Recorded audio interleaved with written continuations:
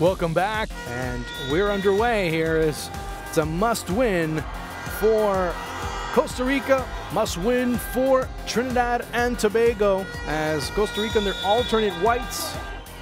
Ball comes through, the chance, the shot, the save by Sequeira. And really look to counter or try and create a, some type of counterattack. The chance, the shot that goes wide.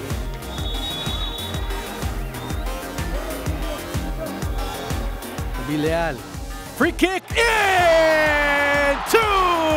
the back of the net. Randall Leal. Pura vida 1 0. A free kick right in front of the 18. Put it over the wall. You've won half the battle. And Randall Leal's case, well, he won the entire battle.